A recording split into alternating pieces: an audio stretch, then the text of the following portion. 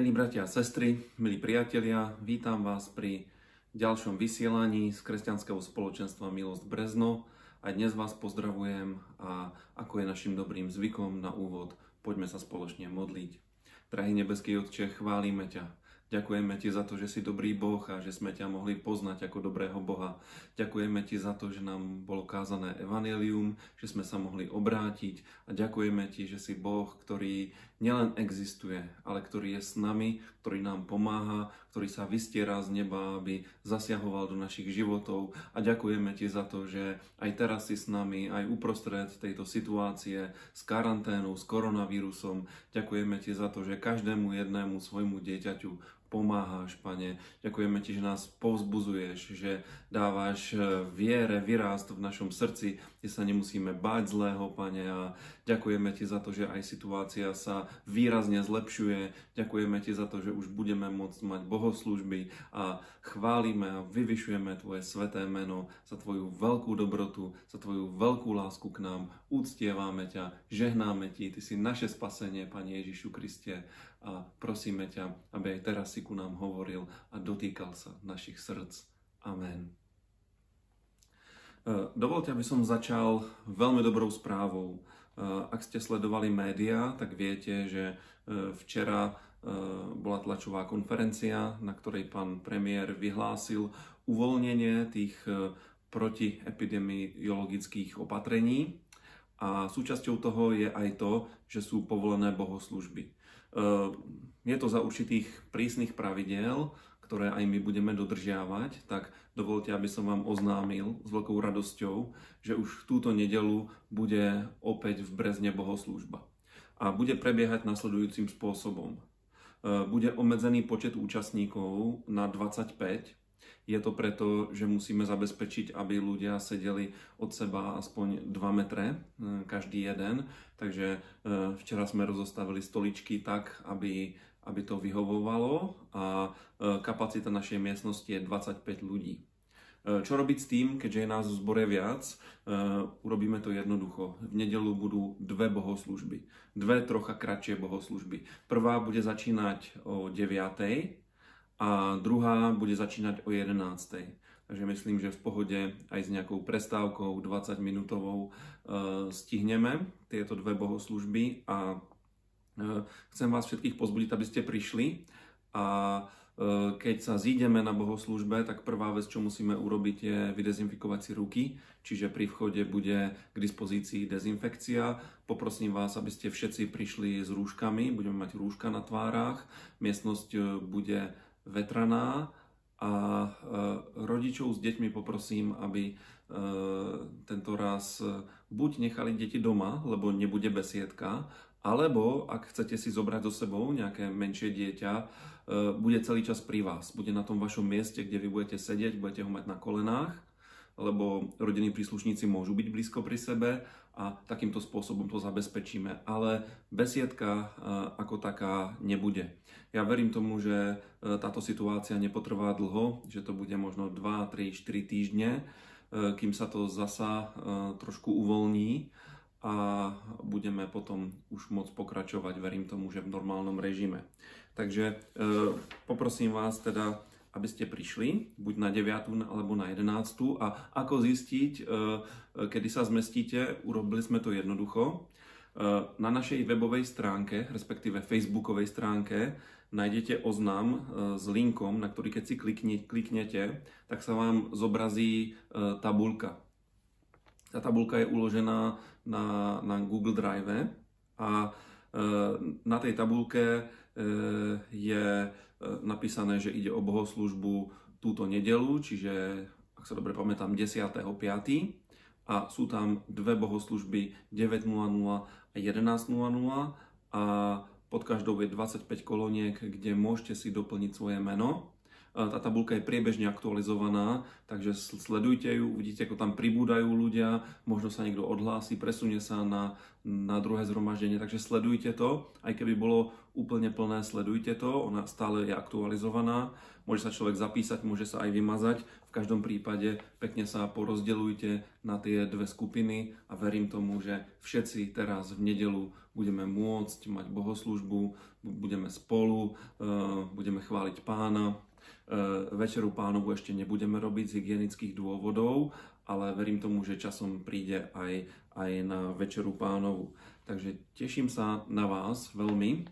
A keďže budú nedelné bohoslužby, dve, tak sa nám zmení trošku aj ten týždňový rytmus. Už nebudem natáčať v útorok videá, ako dneska, ale v útorky si dáme modlitby v v zbore, v brezňanskom zbore. Týka sa to predovšetkým brezňanov, cez polných nebudem nutiť cestovať, ale keď pekne sa zídeme a rozostúpime sa po obvede miestnosti, tak aj e, vzdialenosti budú dodržané a budeme sa môcť modliť. Čiže štartujeme zborový život, modlitebný život, štartujeme aj zhromaždenia, budú dve zhromaždenia v nedelu, tak vás poprosím, zapíšte sa a verím tomu, že s dodržaním všetkých e, hygienických opatrení e, to zvládneme, že nikto neochorie a naopak, že aj spoločné modlitby a spoločné bohoslužby pomôžu k tomu, aby situácia v krajine, ktorá je už teraz dobrá alebo lepšia, aby sa ešte zlepšila a aby ďalšia vlna e, ochorenia COVID-19, aby už neprišla a toto ochorenie sa nevrátilo. Takže ak sa tešíte, ja sa teším dvojnásob, lebo mi už veľmi chýbate a v nedelu sa pekne stretneme. Uh, takže uh, ešte raz opakujem, ako sa zapísať. Musíte ísť na facebookovú stránku Kresťanské spoločenstvo Milosť Brezno a tam v tom vrchnom statuse, pripol som to na samý vrch stránky, tam, je, tam sú napísané pokyny a je tam link, na ktorý keď si kliknete, tak sa budete môcť e, zapísať na zhromaždení. Čo som pozeral, tak už tam pribudli nejaké mená, takže ten systém funguje. Tak a budeme sa teraz venovať Božiemu slovu. E, ja som dal názov tejto kázni Najväčší problém človeka. A skutočnosť je taká, že ľudia majú veľmi veľa problémov. Veľa vecí nazývajú problémami, sú problémy vo vzťahoch, sú problémy s životom, s rôznymi problémami a trápeniami sa boríme ako ľudia. Ale keď sa na to pozrieme striktne biblicky, tak zistíme, že ľudstvo a človek má iba jeden problém. Jeden najväčší problém, základný problém, od ktorého sa odvíjajú všetky ostatné problémy a ten problém sa volá hriech. Hriech ako duchovná skutočnosť. E, mnohí ľudia, keď sa povie hriech, tak si predstavia množstvo rôznych skutkov, ktoré sú hriechmi, sú porušením Božích prikázaní alebo pravidel, ale hriech je duchovná skutočnosť. Hriech je skutočnosť, do ktorej sa človek narodí, eh, aniž by čokoľvek dobré alebo zlé učinil. Hriech je stav, v ktorom sa nachádza ľudstvo už od eh, prvých ľudí, skrze ktorých hriech vstúpil do histórie človeka, do histórie ľudstva.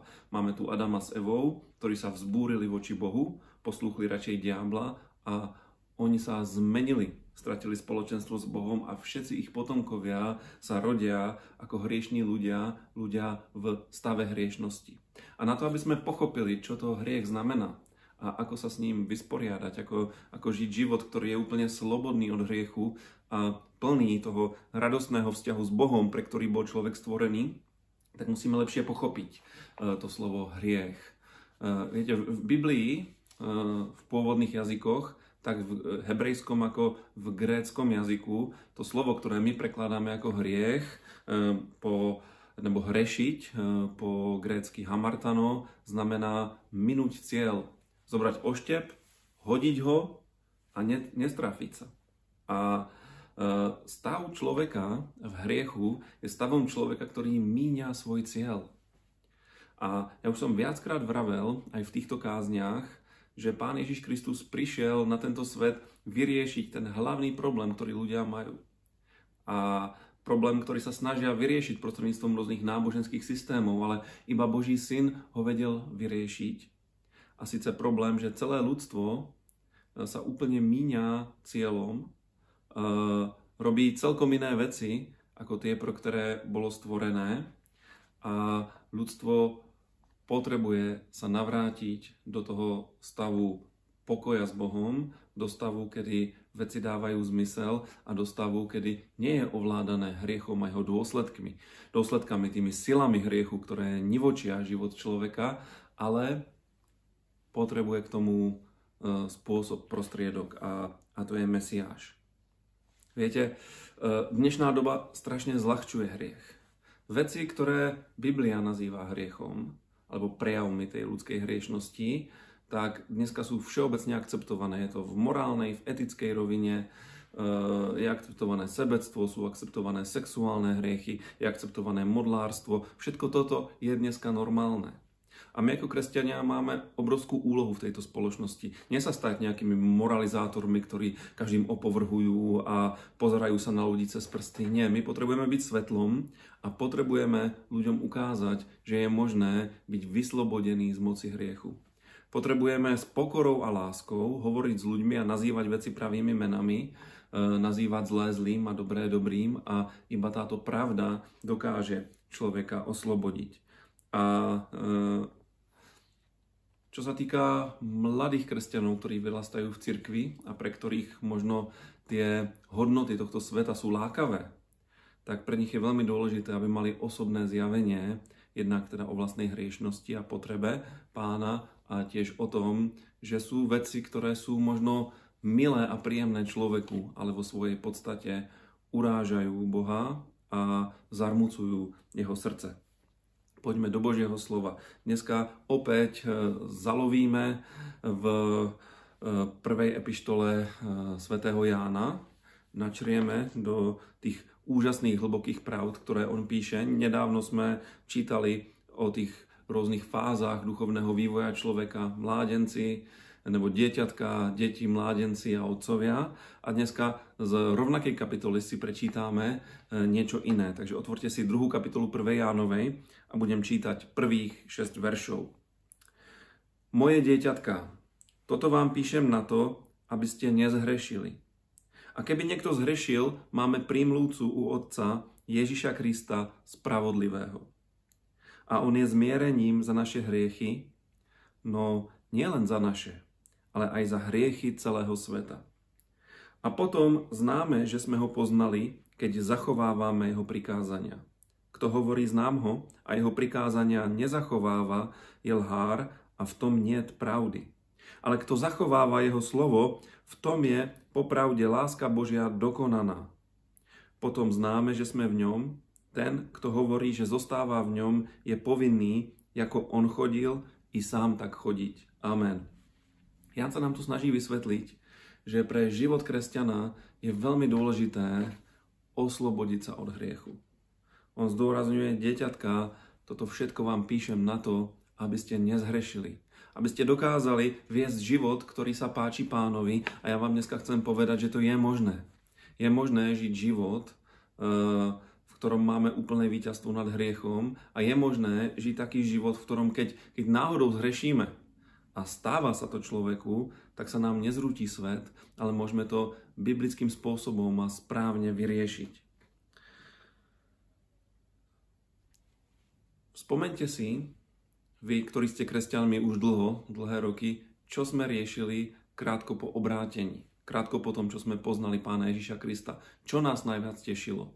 Najviac nás tešilo to, že máme odpustené hriechy, tešilo nás, že máme vzťah s Bohom a veľmi nám záležalo na tom, aby sa pánovi páčilo čokoľvek, čo vo svojom živote robíme. Čokoľvek naše myšlienky, naše slova a naše skutky. A tak ako išiel život a e, kresťanské pravdy, aj návšteva zboru, bohoslužba, modlitba, slovo možno nám trochu zovšedneli, tak E, podstatou tej starej ľudskej prirodzenosti je, že aj z živej viery vie urobiť náboženstvo, čiže prázdnu formu. A to je to, proti čomu my veľmi intenzívne bojujeme, lebo písmo chce, aby sme milovali pána, aby sme boli horliví milovníci Boha, aby sme milovali pravdu, milovali spravodlivosť, nenávideli hriech, tak ako to hovorí Božie slovo o Mesiášovi, že e, prorocky je povedané, ty si miloval spravodlivosť a nenávidel neprávosť, tak tento postoj je prirodzený každému človeku, ktorý spozná pána, ktorý sa zalúbi do Boha a ktorý vie naplniť tie dve prikázania lásky, že milovať budeš Boha celým svojim srdcom, celou svojou dušou, celou svojou myslou a svojho blížneho ako seba samého. Toto v človeku žije, keď sa obráti. A e, je dôležité, aby to v nás žilo stále.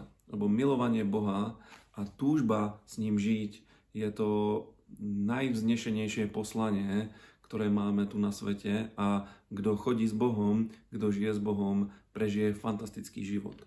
A toto je dôležité si pripomínať. Viete, svet rieši šťastie.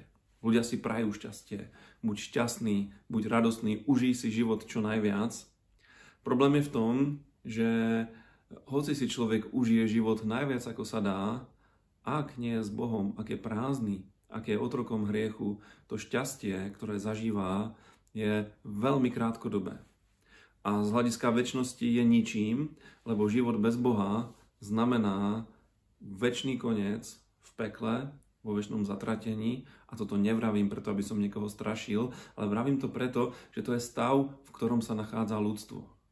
Potvrdzuje to aj to, že hm, stav ľudstva je taký, že ľudstvo samo sebe vytvára také situácie, že mnohí ľudia zažívajú peklo už tu, na tejto zemi. Prostredníctvom mnohej krútosti a utrpenia, ktoré si ľudia navzájom spôsobujú. A vrátim sa k tomu, že svet túži po šťastí. Toto šťastie sa snaží získať naplňaním legitimných potrieb aj nelegitimných túžob a e, Biblia hovorí, že keď sa človek rozhodne pre spravodlivosť, pre Ježiša, tak o Bohu je napísané, že náš Boh naplní každú našu potrebu podľa svojho bohatstva v sláve v Kristovi Ježišovi. A čo je šťastie, ak nie pocit toho, že mám naplnené všetky potreby, že, sa, že mám z čoho sa radovať, mám prečo žiť, môj život má zmysel a toto je dôležitý. A, a my ako kresťania vieme, že toho skutočného šťastia dosiahneme jedným jediným spôsobom a síce, že odovzdáme svoje životy Bohu a že, že následujeme tú túžbu mu slúžiť, jednak v osobnej bohoslužbe a jednak tým, že slúžime druhým a prejavujeme im lásku, čo je to, čo je, čo je to najväčšie šťastie. Napríklad pre mňa osobne tým najväčším šťastím je, keď vidím ovocie svojej služby. Napríklad, že dlhodobo tým, ako kážem, ako sa modlím za ľudia, vplývam na ich život, tak vidím, že ich život sa niekam hýbe. A keď mi tu a tam príde nejaký mail, alebo mi niekto zavolá s nejakým dobrým svedectvom, ja vám poviem, ja som, ja som prešťastný. A zistil som, že, že toto je zmysel života. Robiť niečo pre Boha a pre ľudí s cieľom milovať. Lebo láska je tou motiváciou a keď to človek robí, skutočne vie byť šťastný aj v komplikovaných okolnostiach. A Jan nás pozbuzuje v tomto texte, on hovorí, píšem vám, dieťatka, aby ste nehrešili, alebo ešte, e, ešte ráznejšie, nezhrešili. A dodáva, ale keď niekto zhreší, že máme prímluvcu u Otca Ježíša Krista spravodlivého. Jan je si dobre vedomý toho, čo, čo to znamená, keď kresťan zhreší, lebo hriech predstavuje deštruktívnu silu ktorá ničí život človeka, ničí jeho dušu, ničí jeho vzťah s Bohom, e, ničí jeho životný pocit. Nie je nič horšie ako taký pocit viny, ktorý máme, hoci sa ho snažíme potlačiť, ale vieme, že jeden jediný spôsob, ako sa ho zbaviť, je, je biblické pokánie, to znamená olutovať hriech, poprosiť pána o odpustenie a e, robiť to, čo hovorí pán Ježiš, že choď a nehreš viacej. To je jediný spôsob, ako sa môžeme zbaviť e, tohto a potom si môžeme užívať to, že duch Boží v nás svedčí spolu s našim duchom, že sme Božie deti, že máme prístup k Otcovi, že sa môžeme tešiť v jeho blízkosti. E, najnebezpečnejšie z hriechov sú hriechy, o ktorých nikto nevie. Takzvané tajné hriechy, ktoré ľudia robia potajomky, nikto ich nevidí, vedia to iba oni, vie to iba Boh. A dlhodobo, keď kresťan zostáva v takýchto hriechoch, toto má obrovský potenciál zničiť jeho život. Preto je dôležité, aby aj teraz, e, keď ma počúvaš brat alebo sestra, máš takýto problém, e, Tvoj problém nevyrieši to, keď prídeš za pastorom a povieš modli sa za mňa. Tvoj problém vyrieši to, keď rázne a jednoznačne povieš nie svojej starej prirozenosti, pred pánom vyznáš svoj hriech, ak sa cítiš poviazaný, choď za pastorom, Eh, bude sa s tebou modliť, vyriekne nad tebou Bože odpustenia, vyženie z teba démonov, ktorí ťa držali. Toto, toto je eh, legitimný spôsob, ale bez tvojho rozhodnutia, bez tvojho odhodlania sa nepohne nič.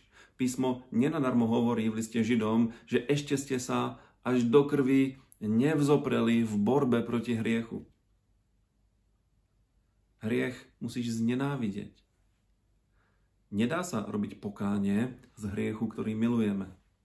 Joj, pane, ty vieš, ja, tak milujem ten hriech, mne je to ľúto, prosím ťa, odpustí mi, nechcem ísť do pekla, ale milujem hriech. Nie, buď miluješ hriech, lebo miluješ Boha.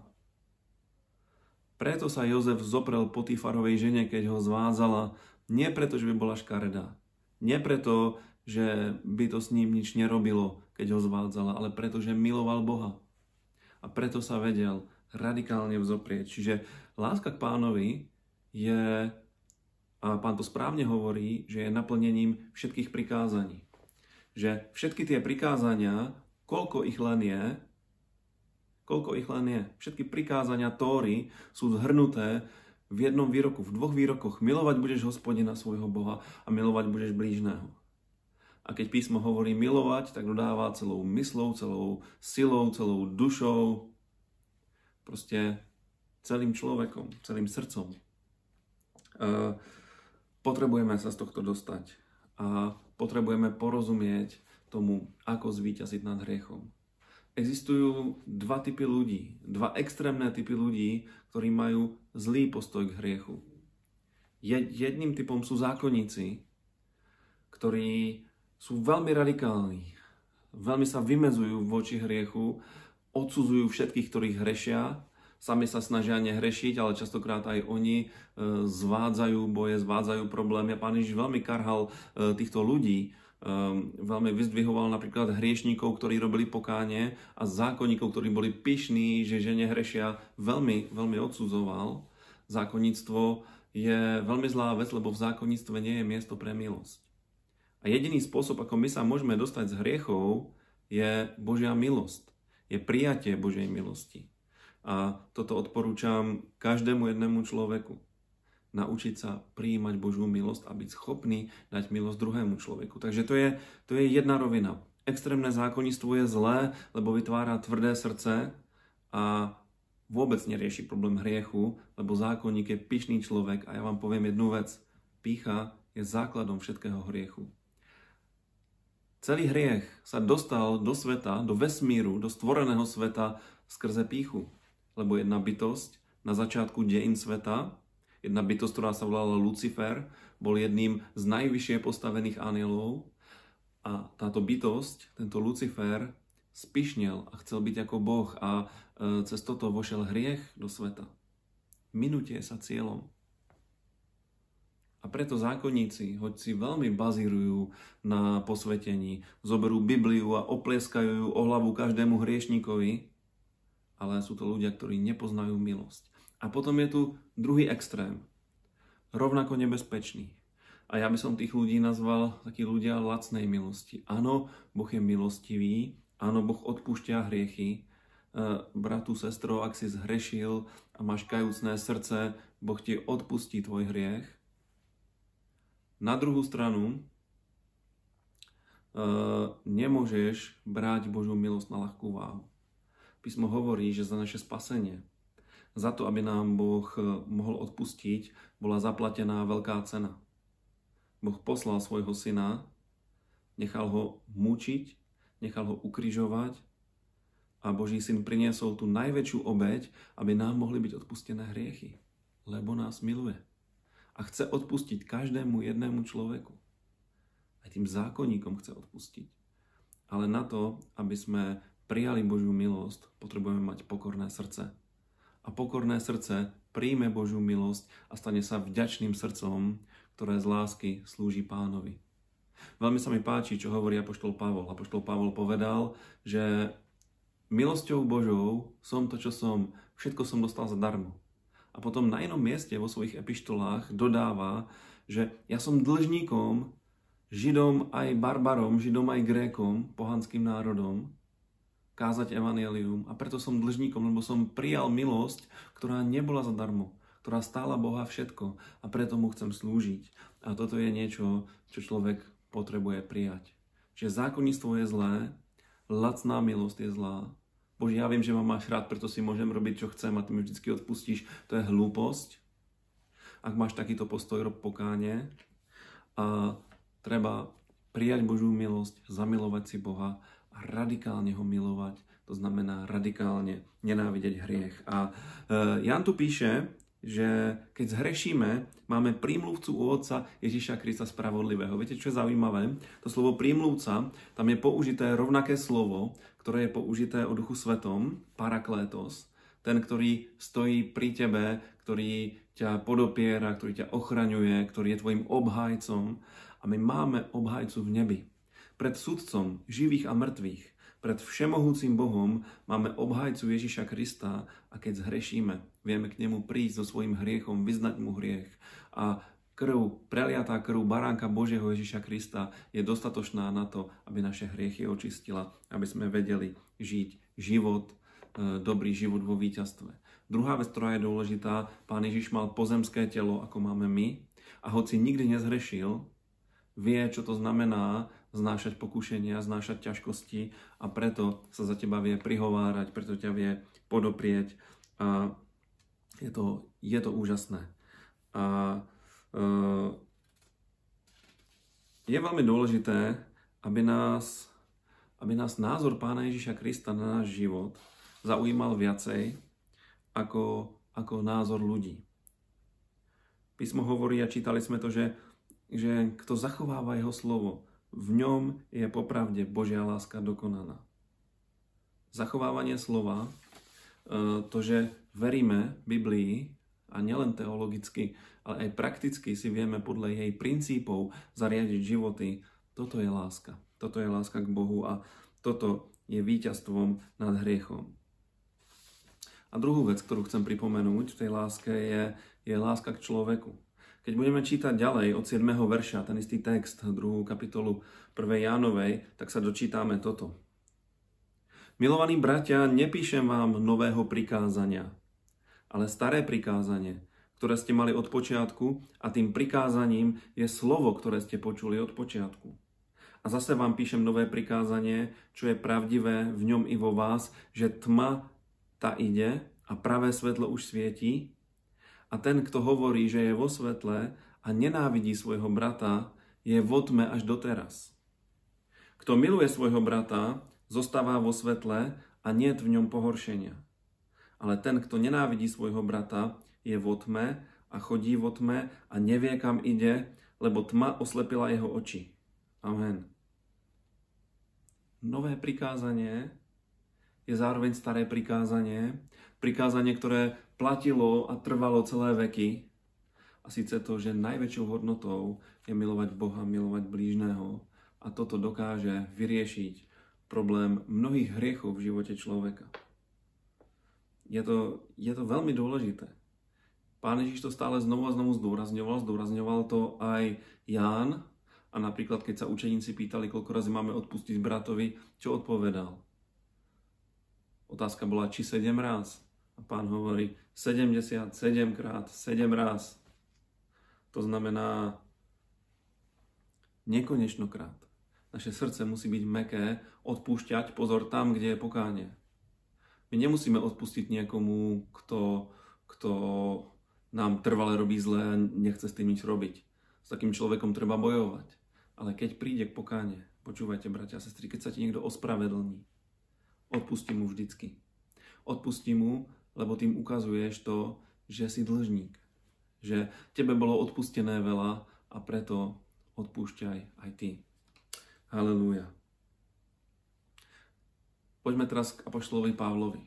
Apoštol Pavol mal asi najväčšie zjavenie o Kristovi a to, čo čítame v jeho epištolách e, o Božím synovi, o jeho významu, o, o našom postoji k nemu, o aké, aké aké miesto máme vo spasení, aké dedičstvo nám bolo dané, to sú fantastické veci. Tiež Apoštol Pavlo vyučuje o viere, o spasení z viery a v liste Galatianom eh, v druhej kapitole je úžasný 20. verš, ktorý každému odporúčam naučiť sa na spameť. Galatianom 2.20. Ten verš hovorí, že s Kristom spolu ukrižovaný som a žijem už nie ja, ale žije vo mne Kristus a život, ktorý teraz žijem v tele, vo viere Syna Božieho žijem, ktorý si ma zamiloval a vydal seba samého za mňa. Je to úžasný verš. Ten Pavol hovorí to, čo sám prežil. Že keď do jeho života prišiel Ježiš Kristus, tak Pavol už nežil sám sebe. Zomrel s Kristom, vstal z mŕtvych k novému životu a má niečo úžasné. Žije vo viere v Božieho Syna, ktorý si ho zamiloval a vydal seba samého za mňa. A toto chcem zdôrazniť e, na záver tohto svojho príhovoru. Ak sa rozhodneš následovať Ježiša Krista, vždycky pamätaj na to, čo On urobil pre teba. A ak si to budeš stále pripomínať, ako budeš stále chváliť za to, Pane, ďakujem Ti za to, že mám odpustené hriechy. Ďakujem Ti za to, že si šiel na kríž kvôli mne, kvôli môjmu spaseniu. Ďakujem Ti za to, že si ma zmieril s Otcom. A takto budeš rozmýšľať o Ježišovi Kristovi, staneš sa človekom, ktorý bude stále vedieť, že Bohu niečo dlhuješ. To nie je tak, že Boh si to od teba pýta. Ale jediný spôsob, ako prežiť svoj život v plnosti Božej lásky a um, v, tej, v, tej, v tej túžbe mu slúžiť, je si to uvedomiť. Lebo uprostred tohto sveta, ktorý je plný rôznych vábení, rôznych pokušení, tou najsilnejšou motiváciou je láska k Bohu a vedomie, čo všetko On pre nás urobil, to znamená vďačnosť. A vtedy vidíme, že sme dlžníkmi Bohu a aj ostatným ľuďom, ktorí nepoznajú Boha, aby ho mohli aj oni poznať. A keď prechádzame pekne tú druhú kapitolu Jána, môžeme sa do nej opäť vrátiť, tak je tam 15. a 17. verš, ktorým by som chcel skončiť. Tu je napísané, e, nemilujte svet, ani to, čo je vo svete. Ak niekto miluje svet, nie je v ňom otcova láska. Veď nič z toho, čo je vo svete, žiadostivosť tela, žiadostivosť očí a vystatovanie sa blahobytom, čiže pícha života, nie je z otca, ale je zo sveta. A svet sa pomíňa aj so svojou žiadostivosťou, kto však plní Božú vôľu, zostáva na veky. Amen. A to je ten cieľ. Boh na jednu stranu nás vyslobodil z hriechu a zdôrazňuje, aby sme žili s ním, aby sme chodili s ním, tak ako tie biblické postavy minulosti, ako Henoch, ako Noach, ako, ako Eliáš, Elizeus, aby sme mali blízke spoločenstvo s pánom, toto je, toto je túžba nášho srdca a toto je Božia vôľa pre náš život. A je tam ešte jedna rovina. Poznať konkrétnu Božiu vôľu to, čo máme robiť, to, to, aká je naša úloha na tomto svete a vysporiadať sa s tými troma oblastiami, ktorými na nás tlačí svet, ktorý leží v zlom. Svet, ktorý sa minia, ktorý ide ta, ako hovorí Božie slovo. Je to žiadosť tela, žiadosť očí a chlubná pícha života. Tieto tri veci.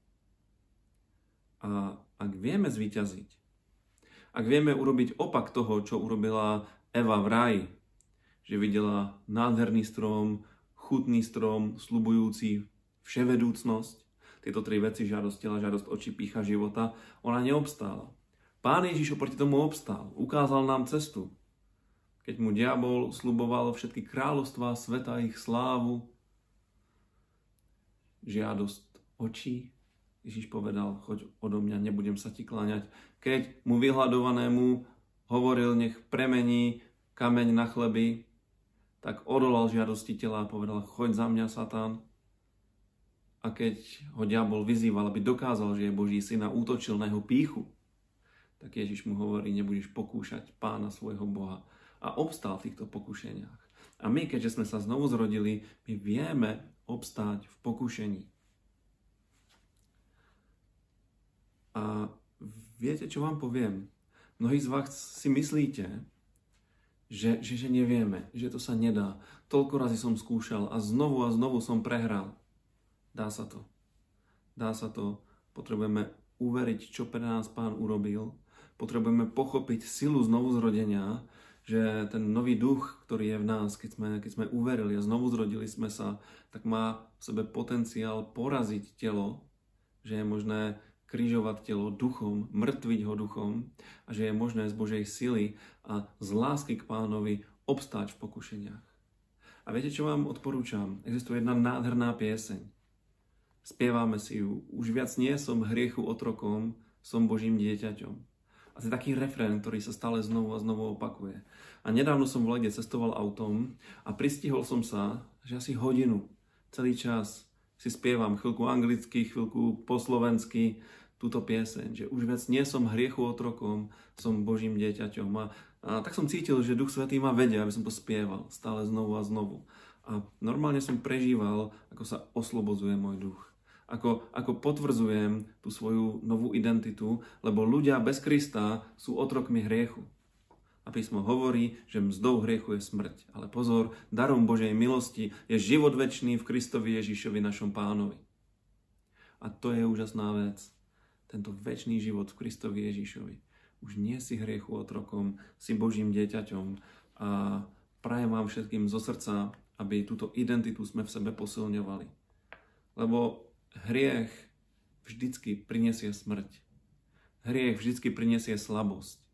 Hriech vždycky prinesie zamhlenie toho jasného videnia veci. Hriech prinesie odrezanie od Boha, od cirkvy. Hriech prinesie nesúlad do rodín. Akýkoľvek hriech, akákoľvek zbúra, akékoľvek následovanie, či žiadosti tela, žiadosti očí alebo pýchy života, akákoľvek z týchto troch vecí vie, vie človeka zničiť.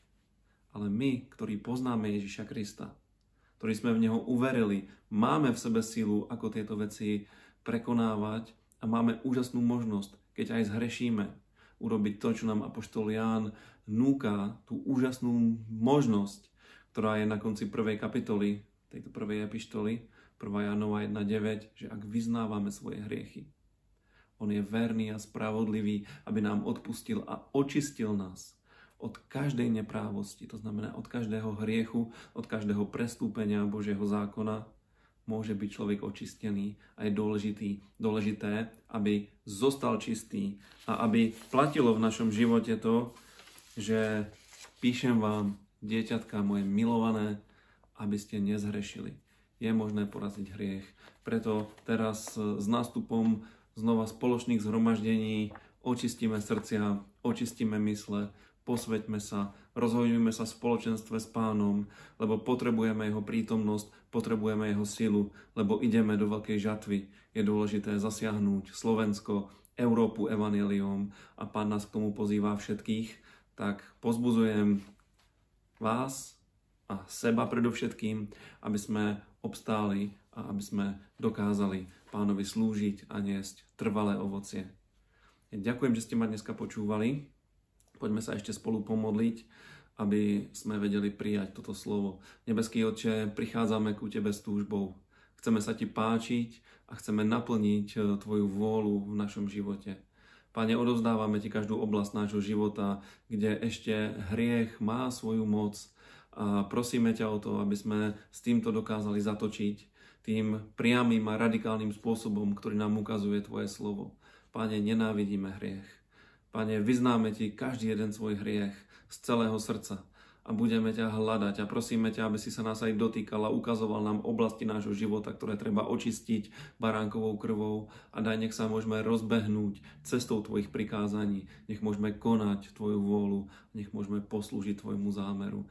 Pane, požehnaj všetky zhromaždenia, ako sa teraz budú otvárať po celom Slovensku, aj v Čechách. Prosíme ťa, Pane, nech sú dobré bohoslužby, nech je mimoriadný čas navštívenia od tvári pánovej a nech môžeme zažívať Tvoju blízkosť a nech sa môžeme kochať v Tebe, lebo Ty si naša láska, Ty si náš život, tak nech je posvetené a vyvýšené to sveté meno Ježiš Kristus Nazarecký.